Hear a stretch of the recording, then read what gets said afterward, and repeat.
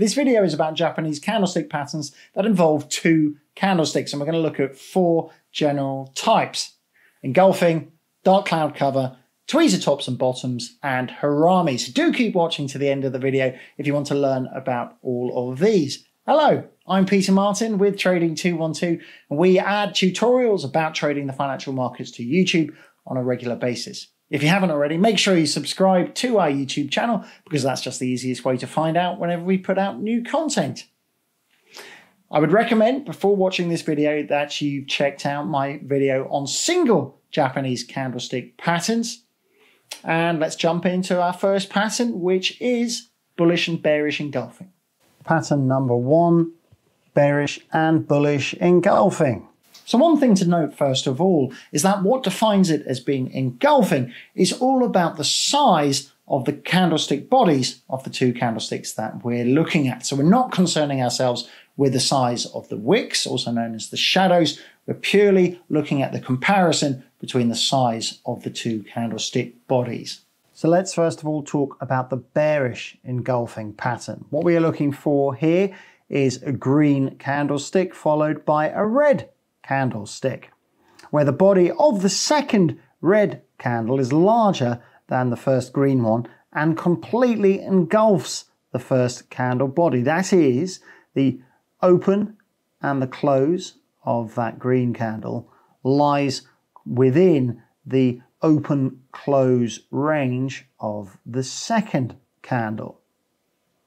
That is the bearish engulfing pattern. And we would be looking for this when it occurs after a bullish phase.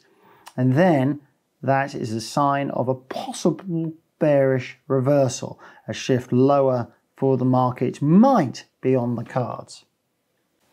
The bullish engulfing pattern is the other way around. So this time it is a red candle first with a green candle second. And the engulfing part is the body of the green candle here completely overlapping, completely engulfing the body of the preceding red candle.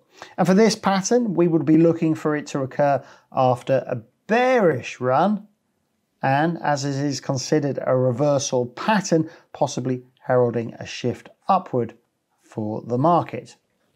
So here we have a daily chart of euro sterling. We can see that the price was in a bit of a downtrend in this section here of the chart, and what do we have here? Well, we've got a red candlestick, quite a small body, completely engulfed by a green candle immediately afterwards. So that is a bullish engulfing pattern.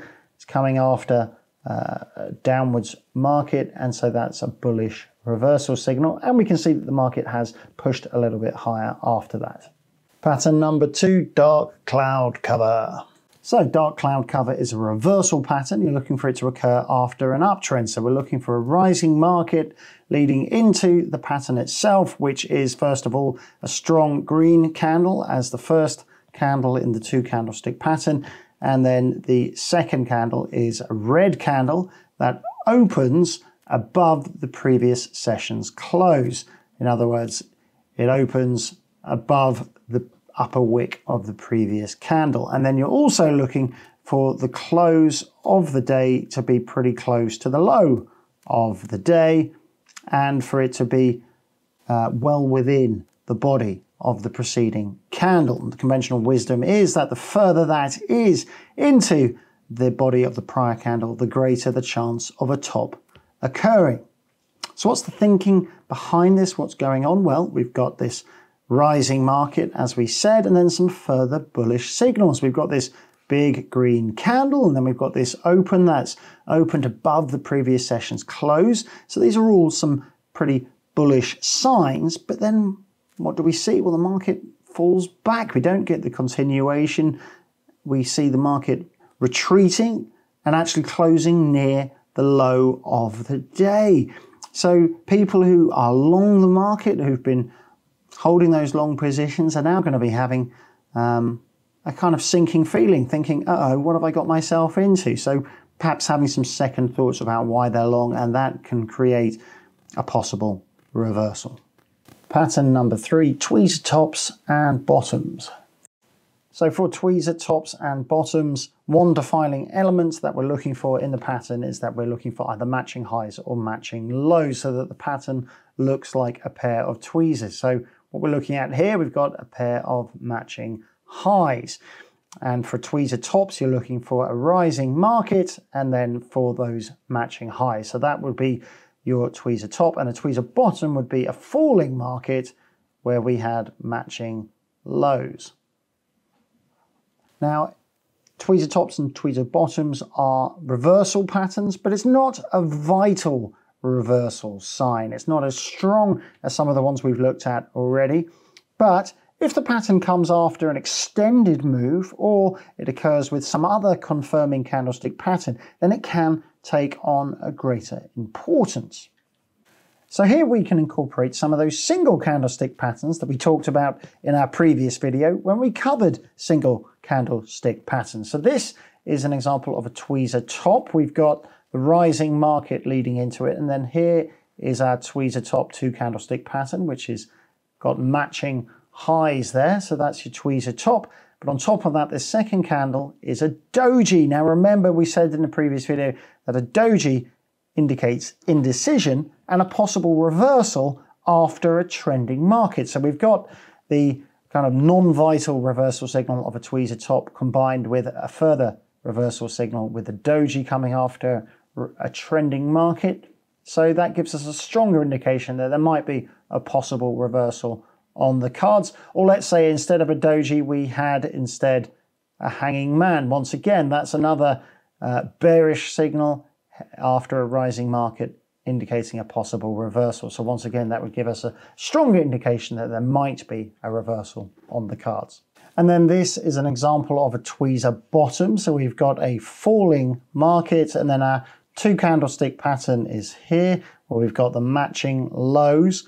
But on top of that, we've got a hammer candlestick pattern, a single candlestick pattern that indicates a possible bullish reversal. So that might give us some further confidence that we might be about to see uh, a reversal here. We're seeing a bottom of this downwards movement.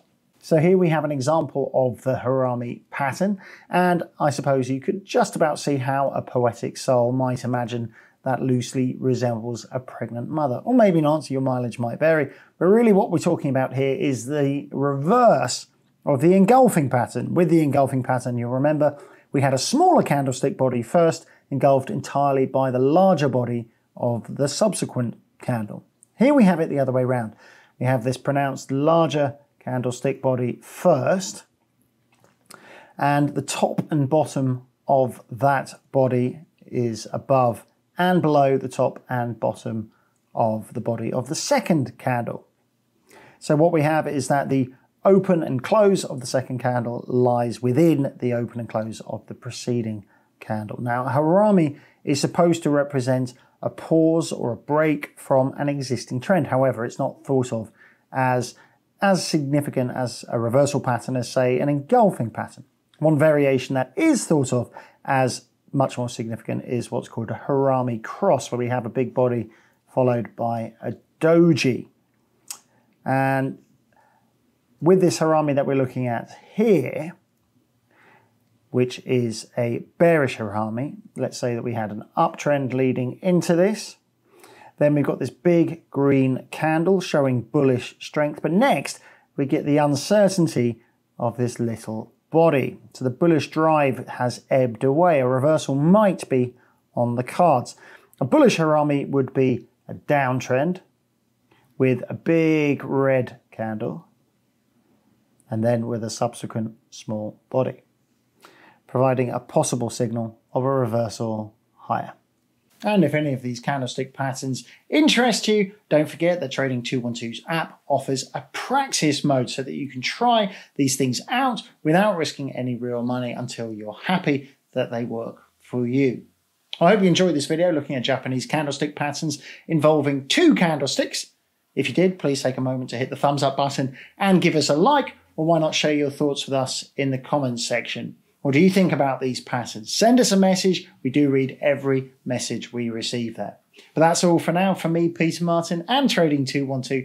Thanks for watching. I'll see you next time. Bye bye.